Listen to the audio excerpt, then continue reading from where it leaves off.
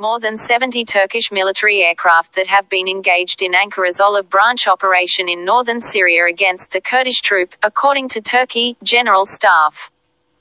The Turkish Air Force attacked the Menagh military airbase in northwestern Syria, which the U.S. used for supplying weapons to Kurdish armed forces, the Hurriyet newspaper reported citing military sources.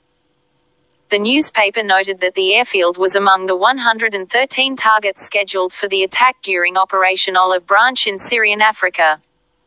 Commenting on the Olive Branch operation, launched earlier in the day, Turkey General Staff announced that more than 70 Turkish military aircraft that have been engaged in the offensive,